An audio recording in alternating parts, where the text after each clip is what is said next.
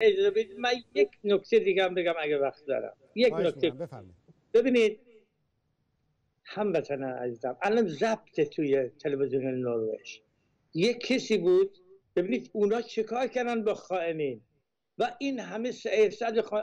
آقای رجوی آزادشون می‌کرد می‌داد به صلیب صبح می‌رفتن از پشت مجاهدین می‌زنن.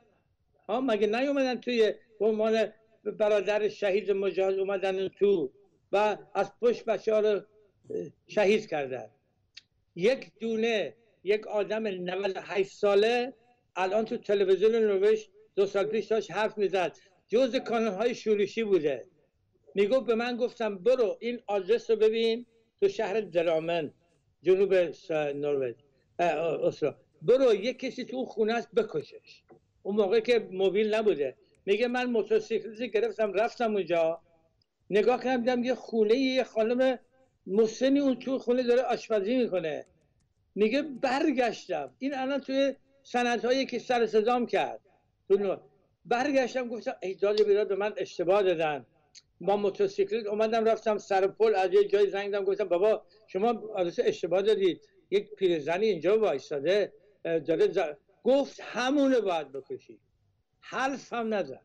حالا ببین اینا رو مقایسه کنید با سازمان مجاهدین شرم بر اینها باد. شرم تاریخ بر اینها باد.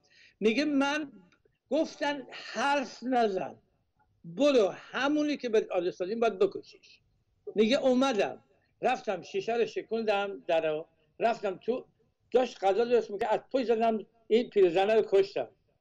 میگه بعد که بعد از پنج سال که نروژ آزاد شد من این تو دلم بود نکنه من اشتباه کردم. نک... این چی بود این زن؟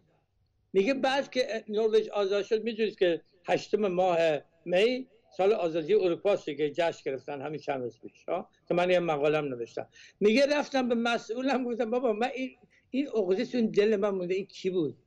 گفتن این همین مثل این یغمایی بوده. باور کنید یک چیزایی راجبش میگن که این یغماییه.